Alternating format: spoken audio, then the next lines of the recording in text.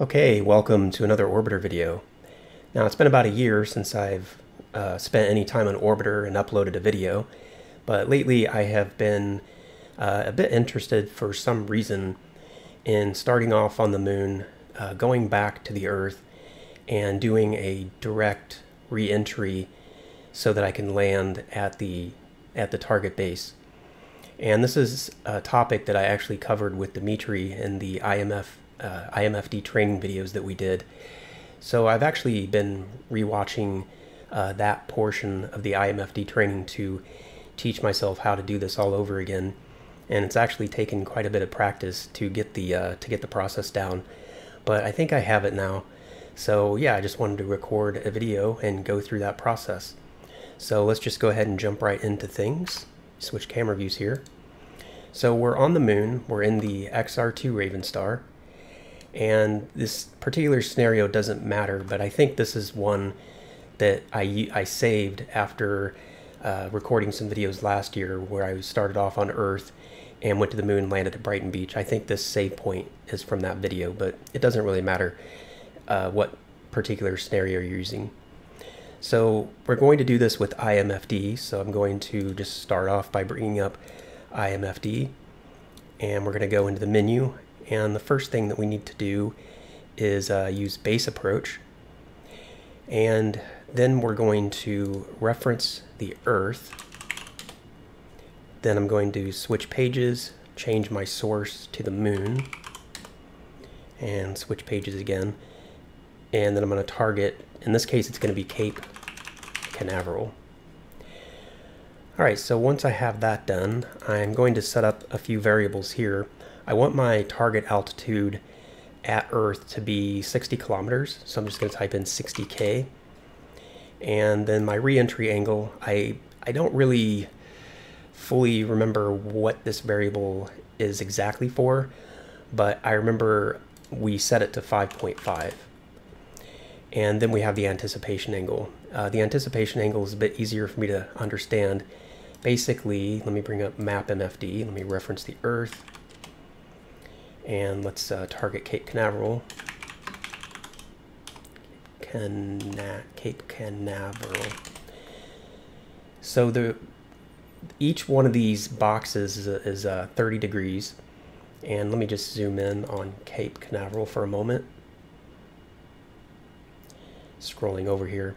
So we have, if we have a re, if we have an anticipation angle of zero, that is telling IMFD that we want to arrive at Earth and we want to arrive like straight above uh, Cape Canaveral. And we don't want to do that because, you know, when you arrive at Earth, you're traveling at 11,000 meters per second. And if you arrive right above KSC, you're going to go so far past it that you know you'll never be able to land. So the the anticipation angle is simply how far ahead or perhaps behind the target do you want to be.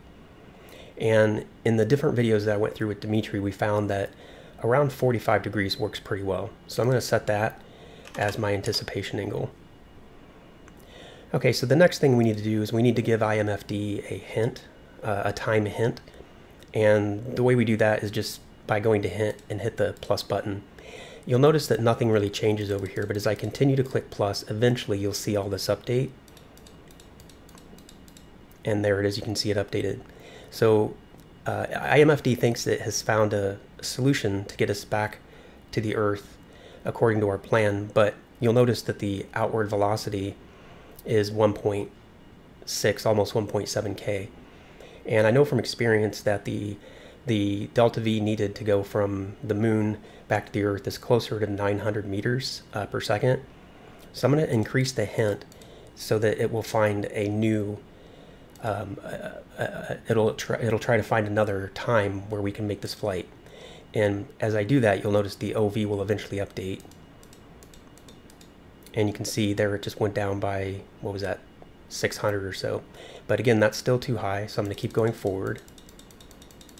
So 974, that's much more reasonable, but we can, we should be able to beat that. We should be able to get, yeah, uh, 900 thereabout. I've actually seen this even lower than that, but let me just go forward.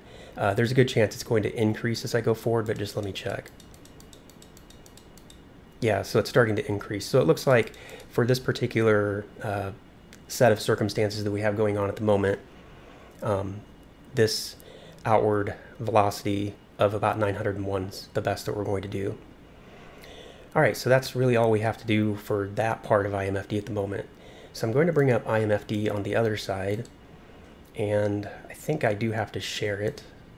So let me go ahead and share uh, side 0 with side 1. So I'm going to type in 0, hit, hit enter, and now we need the uh, surface launch program. And the uh, the particular program that we want to connect to in Surface Launch is Base Approach. So with course program selected, I'm going to hit plus until I get over to Base Approach.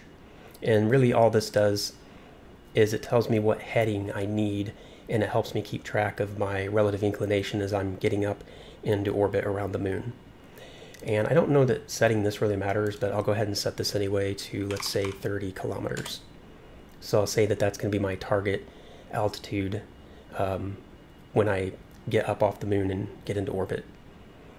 All right, so that's about it for this setup. We're ready to launch, but I'm going to do one more thing. I'm going to bring up um, burn time calculator, and I know that the delta velocity required to get into orbit around the moon is around 1680, but I'm going to put in 1675, and when I'm ready to do my main engine burn, I'm just going to hit the burn button, and that way um, I don't have to remember to cancel my main engines um, when I'm getting close to orbital velocity. That way I can focus all of my attention on keeping my relative inclination down to a minimum number. But that's it, we're ready to go. So let me hit F8 here and come down just to make sure that external cooling's off. Make sure all this stuff is closed up, and it is. And we we need the hover doors open. We probably don't need the retro doors open, but I'll leave them open. And we need the radiator, and obviously we need the landing gear down. So let's go ahead and start the APU. And I'll switch back over to these larger MFDs because I find them much easier to look at. All right, so I need to hover up off the moon, rotate clockwise, I believe. In this case, let me think about it. Yeah, clockwise I think is a little bit shorter. So I can get around to a heading of about 76.5 degrees and then we're going to punch it and get into orbit. So that's going to be the plan. All right, so let's hover up. Think for a second. Yep, hover up. Wheels up. And then we'll go ahead and Gear raise the up. landing gear. Rotation. Start rotating around. And as I'm rotating around, I'm going to start lowering the hover engine because I don't want to up and locked. Launch myself really high up. So we're going for an initial heading of 76.5 degrees. So I'm just keeping an eye on the uh, this heading indicator up here to let me know when I am approximately at that heading. And maybe take out a little bit more hover. Okay, so we're almost there. So we can start killing the rotation. A little bit more. So we want 76.5, so a little bit more. About, about right there, I'd say. All right, now I'm going to uh, get rid of all the hover, turn off the level horizon, and we're going to punch the main engines. Translation. And we're going to bring in the hover doors. Now, using burn time calculator this way, again, just lets me focus m- all of my attention on the uh, EIN or relative inclination. I want to make sure that that's, you know, as close to zero as I can get it. Let me change the projection here.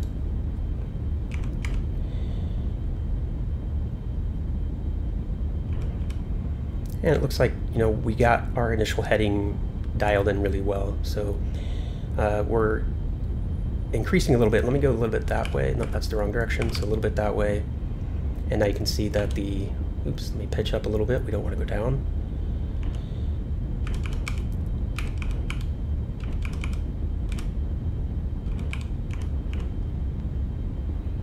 And if the relative inclination isn't absolutely perfect, it's okay. I can fix it when I get into orbit. But hopefully we can keep it pretty well dialed into zero. Information. APU running. Okay, and you can see the burn time calculator finished up the burn, and we are really close to being, um, you know, at a perfect orbit. All right, let me go ahead and go to the prograde position, change the HUD over to orbit, And we our relative inclination is off by just the tiniest little bit. So once we get rotated here, I'll go ahead and try to correct that. Okay, so turn off prograde. We switch over to linear translation and not sure which direction I need to go, so I'm just going to test. APU running. Go ahead and turn off the APU.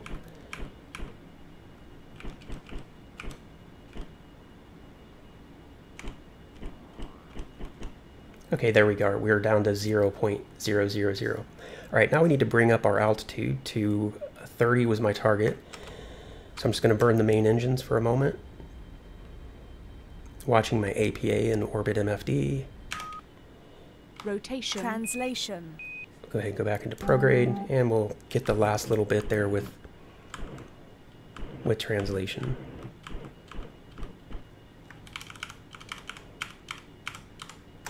Okay, so we're we have our apoapsis set at our target.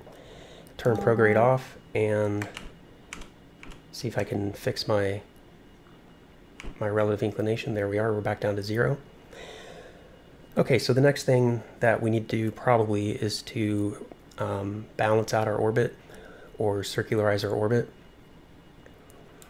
We may not need to do that depending on when the time to do the burn is in interplanetary MFD. So let me think for a moment. Okay, so now I need to bring up the delta velocity program. No, I need to bring up orbit eject. So on this side, I'm going to come over here, I'm going to go to orbit eject, change the projection. That looks a little bit better, and I'm going to connect this with the with the base approach program. So the time to eject is 5,800 seconds, and the time to our apoapsis is 2,400 seconds. So we're going to reach apoapsis much quicker than we are going to reach the time to eject. So the next order of business is to warp time forward over to apoapsis. 5,000. That makes me nervous hearing that. But our altitude's going up, so we should be good. Time to the apoapsis is 400, 300, 200, 100. Let's go back to real time and go prograde. And what we'll do is we'll just go ahead and use IMFD's orbit uh, circularization program.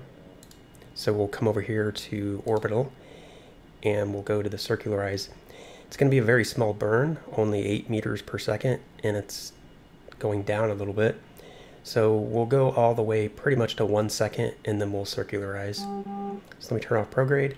Go ahead and warp time forward here. And we're just getting really close now to the time to begin the burn. Go back to real time and auto burn.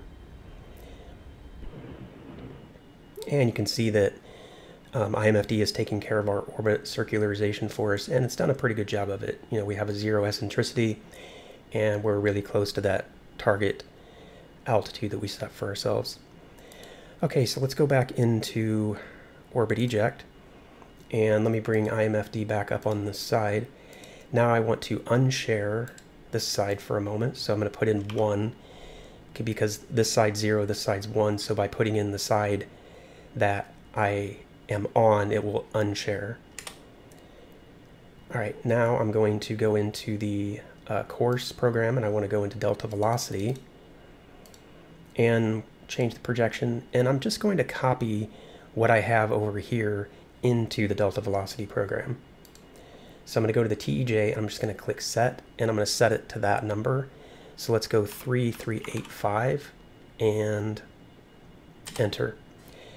And now we're going to set our uh, forward velocity in the delta velocity program so that it's equal to the uh, dV that we see over here. So I'm going to go next, next, next. Nope previous is shorter, and set, and then 859.4.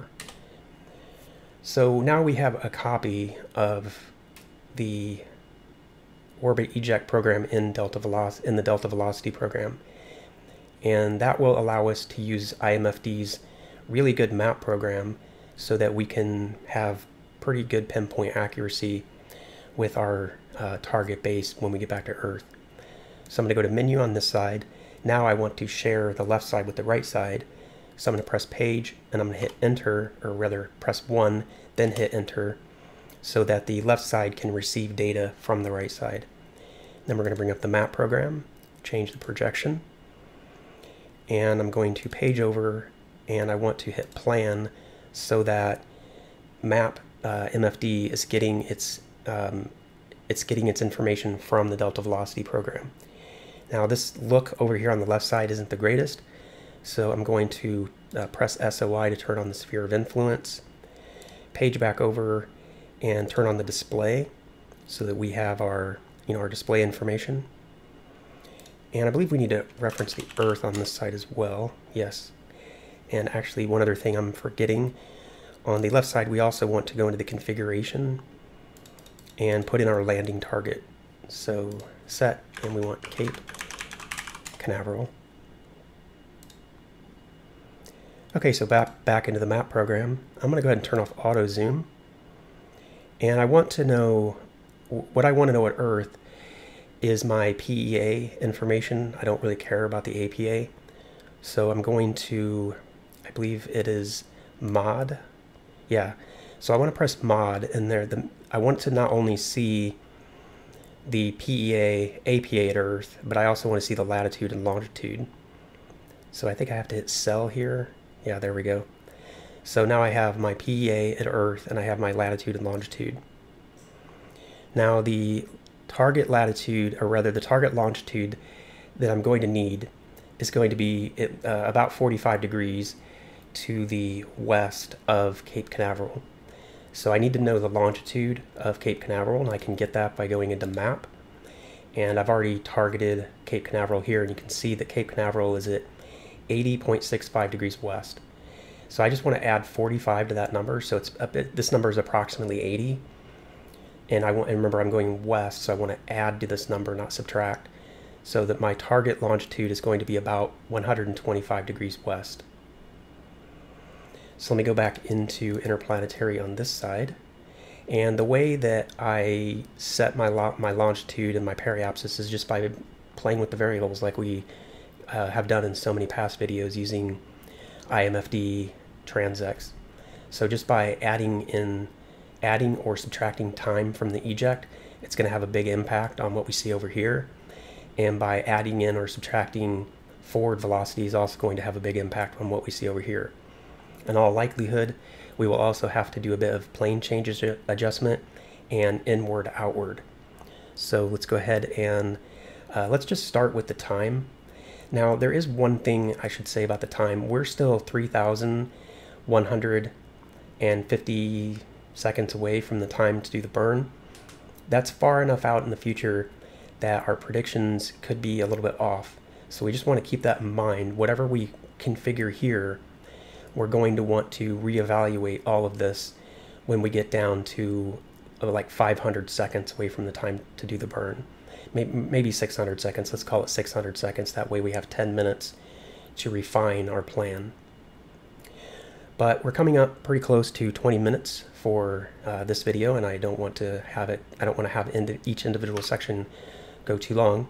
So I'll go ahead and press pause here, and when we come back, we'll pick up with this plan, and we will continue on. Hope you, hope you enjoyed watching this part, and I will see you in the next video.